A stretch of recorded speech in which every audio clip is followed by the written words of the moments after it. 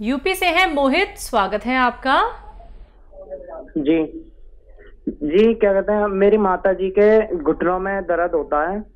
कितने वक्त से दर्द है? जी अभी से ही है, कम से कम एक महीने से। ठीक है। उम्र क्या और उम्र है कम से कम पैंतालीस पैंतालीस साल और एक ही घुटने में दर्द होता है। हम्म। जी। जी। और बेटा काफ़ी दिन से होगा, वैसे आप मैंने पूछा नहीं, ऐसी अपनी तरफ़ से कह रहे हैं। एक महीने में तो हमें कोई फ़ोन भी नहीं करता, काफ़ी पुराना दर्द हो तो वैसे तो करना चाहिए जल्दी, लेकिन पता नहीं मुझे क्यों लग रहा है कि ज़्यादा वक्त से होगा दर्द। एक तो देखिए, उनको वेस्टर्न टॉयलेट का प्रयोग कराइए, एक कुर्सी वाला बाथरूम आपके घर में हो, उनके प्रयोग के लिए अपनी ज़रूरत उस पर पूरी किया करें। इससे भी बहुत फ़ायदा रहता है। और कभी कभी तो हम बगैर दवा के ही ठीक हो जाते हैं। अगर किसी को बहुत पुराना दर्द है, किसी सूरत नहीं जाता। तो देखिए, मैं अक्सर बताता हूँ, एक आता है गौंसिया काला गोंद इसे कहते हैं। अच्छा ये असली ले, नकली बहुत देने लगे लोग, बड़ी परेशानी है। और ये सस्ता इलाज है एक दिन में पंद्रह सोलह रुपये खर्च होते हैं। ये कड़वा होता है और काला गोंद भी इसे कहते हैं। लेकिन इसके बदले में लोग एलवा दे देते हैं या ढाक का गोंद दे देते हैं, ये वो नहीं है, ये बिल्कुल अलग है। कोई नकली दे तो मत लें और असली ही लें। आधा ग्राम सुबह नाश्ते के बाद, आधा ग्राम शाम को। आप मम्मी को दे दें और पाँच सात दिन के बाद फ़ायदा शुरू करता है। ये थोड़ा सब्र करें, संयम रखें और ये सौ ग्राम भी असली मिल गया तो आपकी मम्मी को फ़ायदा होना मुमकिन है। जी, फतेहपुर से है राम। स्वागत है आपका। हाँ राम स्वरूप यादव बता रहे हैं सर। राम स्वरूप जी बताइए क्या जानना चाहते हैं? हाँ सर ऐसा है कि आपकी दवाई मुझको आर केयर मिली है। हाँ। तो उसको किस तरह खाना है उसमें तो परहेज बहुत दिया है। और हम तो अंडा मीट मछली खाने वाले हैं नहीं। ठीक। जी। आप परहेज सिर्फ़ इतना करें कि खट्टी चीज़ें न खाएँ खट्टी और ठंडी चीज़ें। और माजून आर केयर आपके पास है तो एक चम्मच सुबह निहार में गर्म पानी से लिया करें। और बहुत ज़्यादा परेशानी है तो रात को सोते वक्त भी ले सकते हैं। इतना परहेज आप तो कर ही सकते हैं कि आप खट्टी चीज़ें या ठंडी चीज़ें ना खाएँ। अंडा, मीट, मछली कोई ज़रूरत नहीं, खाने की अगर आप नहीं खाते तो उससे कोई फ़र्क नहीं पड़ता। आप वही अपनी दाल सब्ज़ी खाएँ, जो भी आपको पसंद है, और सब्र करें, ये इलाज चार पाँच महीने अगर करते हैं तो आपको फ़ायदा मुमकिन है। जी। मिसेस सपना है दिल्ली से स्वागत है आपका। हेलो। हेलो। जी सपना जी बताइए सवाल कर लीजिए। मैं आपका प्रोग्राम अब भी देख रही हूँ। ऐसा है मैडम कि मैंने ना वहाँ फ़ोन किया था आपके यहाँ। तो मेरे घुटनों में भी दर्द है थायराइड भी है ब्लड प्रेशर भी है। हाँ। हम्म, और देखो ना ब्लड सिरका मंगवाया था जैतून का हाँ। और शुगर भी है और मैंने उनको गोंद सिया कहा था। ठीक है। तो उन्होंने गोंद सिया तो मना कर दिया बड़े सिरके के साथ मिले थे उन्होंने ना मेरे को टी केयर कैप्सूल भेजे थे। हम्म। टी तो बाईस दिन बाथरूम को बहुत ज़्यादा प्रेशर आता है बेड से नीचे उतरते ही वही कमरे में ही हो जाता है मेरा। अच्छा ये बताइए आपके पास टी केयर आया है ना? हाँ जी। ठीक। है, दोनों ही दवाइयाँ सही हैं और ये भी आपको फ़ायदा कर सकता है। टी केयर एक सुबह लें, कैप्सूल नाश्ते के बाद एक शाम को। और वो सिरका भी लें, आप थोड़ा संयम रखें। पाँच सात दिन के बाद फ़ायदा आपको शुरू होता है। और दो तीन महीने अगर आप लेते हैं तो आपको फ़ायदा होना मुमकिन है। जी तो सपना जी, आपके पास सारे रॉ मटेरियल कैप्सूल पहुँच चुके हैं यूनानी के तो आप ना सब्र रख के इनका इस्तेमाल ज़रूर कीजिएगा, जल्दबाजी मत दिखाइएगा। दर्शकों, जब आप लोग कोई भी दवाई का सेवन करते हैं, कोई भी नुस्खा आप अपनाते हैं तो थोड़ा सा आप धैर्य रखिए। हड़बड़ी करेंगे तो बिल्कुल आराम नहीं मिलेगा, क्योंकि आप लोगों को बताए जाते हैं, वो नुस्खे जो सीधा आप लोग हकीम साहब से जानते हैं, लाखों लोगों ने खुद को सेहतमंद बनाया है। अब आप लोगों की बारी है, आप लोग भी सेहतमंद हो सकते हैं तो थोड़ा सा इंतज़ार करके हर एक नुस्खे को फॉलो कर लीजिएगा। लिख नहीं पाते हैं, समझ में कुछ नहीं आ पाता है कि नुस्खा कैसे बनाना है। फिर से अगर आप लोग जानना चाहते हैं तो आप या तो हकीम साहब के यूट्यूब चैनल पर जाके फिर से वीडियोज़ देख सकते हैं, या फिर आप हमारे हेल्पलाइन नंबर पर क्वेरी कर सकते हैं। गुरविंदर जी, स्वागत है आपका। सत जी। सत बताइए। मैं मेरा ये प्रश्न है जी मेरी माता जी हैं। हाँ। उनका ना स्कैलोसिस नाक की बीमारी है उनको। उनकी नाड़ें कमज़ोर हो रही हैं हाँ। उम्र क्या है उनकी? उनकी उम्र फोर्टी फाइव ठीक है। तो किस नौयत तक उनकी बीमारी पहुँची है? इसकी रिपोर्ट आप हमें हमारे हेल्पलाइन नंबर पर वो ले लीजिए व्हाट्सअप नंबर उस पर रिपोर्ट भेज दीजिए। हम आपकी कुछ ना कुछ मदद ज़रूर कर पाएँगे। जी। हकीम साहब, जब बात आती है स्किन की तो हर एक इंसान चाहता है, चाहे वो मेल हो, फीमेल हो, कि उसकी त्वचा क्या है, बड़ी खूबसूरत लगे और उसके चेहरे पे कोई दाग धब्बे ना हो। लेकिन एक बीमारी है सफ़ेद दाग की, जो एक बार शुरू होती है तो हमारे पूरे शरीर को घेर लेती है। तो ये जो सफ़ेद दाग की दिक्कत, परेशानी, एक तो क्यों हो जाती है और इसका ट्रीटमेंट क्या बहुत लंबा होता है कि मरीज़ थक जाता है? हाँ वाकई इसका इलाज जी। दुनिया में शायद सबसे लंबा इसी का इलाज है। जी। देखिए कुछ तो ये होता है कि आदमी कोई भी रोग हो कुछ हम्म। दवा खाए ठीक हो जाए। ठीक है। इसमें वो रोग के साथ लोगों की नज़र देखनी पड़ती है जो जी। अच्छी नज़र से लोग उसे नहीं देखते जिसके सफ़ेद दाग हो। बिल्कुल। हालाँकि इस ये कोई छुआछूत की बीमारी नहीं है लेकिन पता नहीं क्यों समाज में उससे लोग परहेज करते हैं। तो एक ये तकलीफ़ नहीं जाती। सब लोग तो ऐसे नहीं होते, लेकिन फिर भी कुछ लोग एहतियात करते हैं और उससे मरीज़ को बहुत तकलीफ़ पहुँचती है।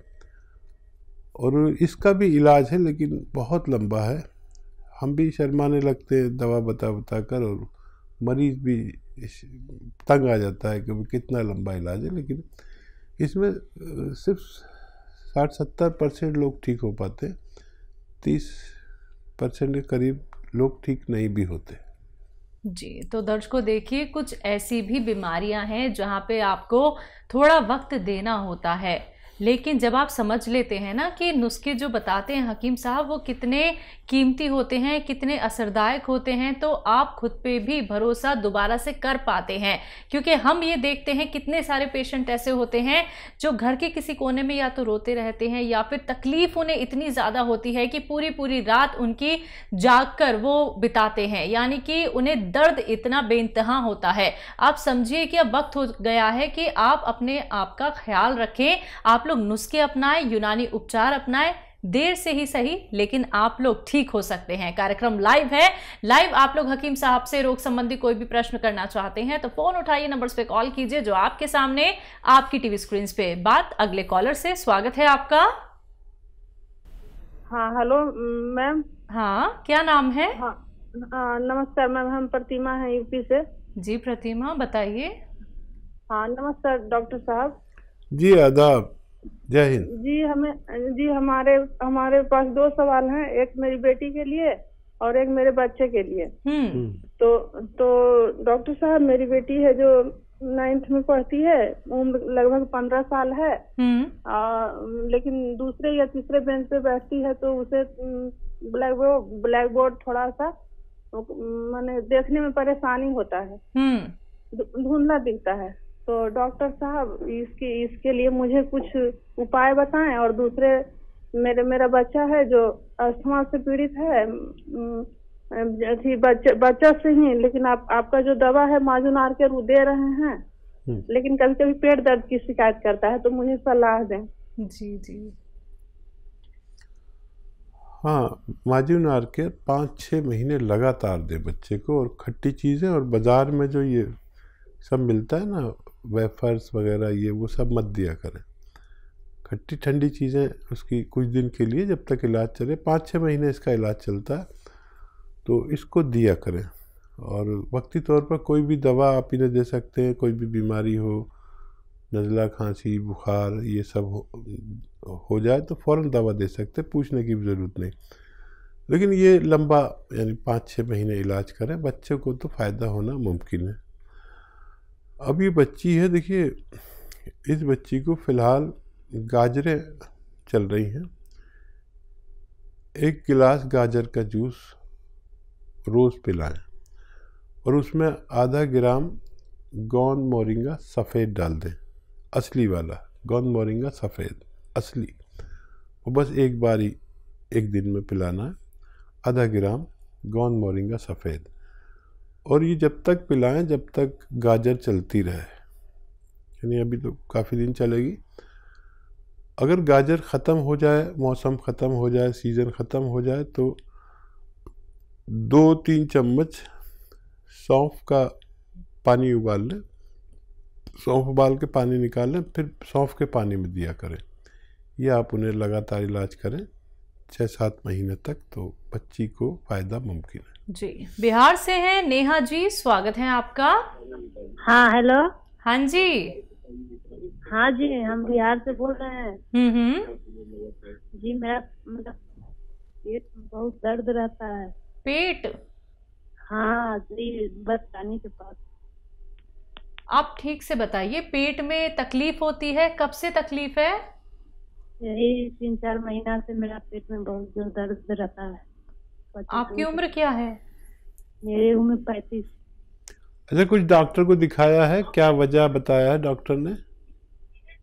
हाँ डॉक्टर से दिखलाए हैं अल्ट्रासाउंड भी करवाए हैं। बताया है प्रॉब्लम है कुछ। क्या बताया है? दर्द बहुत रहता है खाना नहीं खाने पाते हैं पेट फूला फूला रहता है पूरा। नहीं बेटा ये बताइए डॉक्टर ने क्या क्या रोग बताया आपको? डॉक्टर ने बताया है कि बचदानी के नीचे में पानी की तरह जम गया है। नाज बढ़ गया। बच्चे दाने में कोई दिक्कत बताई है डॉक्टर ने? ठीक है ठीक है। हाँ देखिए हमें बड़ी परेशानी होती है कभी कभी समझने के लिए लेकिन बात समझ में आ गई। देखिए, एक आता है एलोवेरा का सिरका। सिरका एलोवेरा या एलोवेरा का सिरका? ये ख़रीद लें आप। और तीन चम्मच, छोटे चाय के चम्मच जिसे कहते हैं ना टी स्पून एक गिलास में डालें पानी में। और एक चुटकी में जितना खाने का सोडा है उसमें मिक्स कर दें, खूब मिला दें चम्मच से और ये पी लिया करें दिन में। एक बार बस आपको फ़ायदा होना मुमकिन है। जी लखनऊ से हैं विजय स्वागत है आपका। हाँ हेलो मैम नमस्कार। नमस्कार। अरे मैम हकीम साहब से बात करनी थी। जी जी कर लीजिए साहब मैं हाजिर हूँ। हाँ अरे सर हमारे जो है स्किन में दिक्कत दिक्कत रहती है पूरे शरीर में जो है एलर्जी टाइप में जो है। ठीक है कितने कितने हाँ, वक्त से है हाँ, हाँ। स्किन जो है लाल हो जाती है और हल्की हल्की सोइलिंग आने लगती है। जिस प्रकार से चित्ती उछड़ती है उस प्रकार से और खुजली बहुत होती है जो है। स्क्रैच जैसे बन जाते हैं जो है शरीर में पूरे जो है। कितने टाइम से है ये प्रॉब्लम और आपकी आयु कितनी है? आयु हमारी छियालीस वर्ष है जो है और ये चार वर्ष लमसम हो गया। तीन से चार वर्ष चार वर्ष से ये दिक्कत है जो है। चलिए फिर बेफिक्र हो जाइए। मैं आपको एक नुस्खा बता रहा हूँ। बहुत आसान है लेकिन आप समझ लें कैसे है। एक आता है नमक जैतून। याद रखें नमक जैतून। अच्छा ये देखने में तो बिल्कुल वैसा ही नमक सा होता है जैसे आपके किचन के डब्बे में एक महिलाएँ नमक भर के रख लेती हैं वैसा ही दिखता है। लेकिन इसे खाओ तो नमकीन नहीं होता। ये इसकी पहचान बता रहा हूँ। लेकिन देखने में बिल्कुल न, नमक जैसा। हल्का सा कड़वापन या हल्का सा खारापन होता है। ये आप ख़रीद लें। सौ ग्राम, डेढ़ सौ ग्राम भी ख़रीद लिया तो काफ़ी होना चाहिए आपकी पूरी बीमारी के लिए। अब इसकी एक चुटकी या दो चुटकी। ये चुटकी है ना? ये एक चुटकी या दो चुटकी। एक गिलास पानी में मिला दें। आराम से मिल भी जाता है। और ये पी लिया करें दिन में एक बार या दो बार। और ये शुरू करें ये धीरे धीरे धीरे धीरे आपकी स्किन एलर्जी हो, दाने हो, मुहासे हो, चकत्ते हो स्क्रैच हो, बहुत सारे फ़ायदों में करता है। ये लीवर को भी अच्छा करता है, ये किडनी को भी अच्छा करता है, ये पेट को भी अच्छा करता है एसिडिटी को भी अच्छा करता है। ये आप लीजिए और फ़ायदा उठाइए। जी।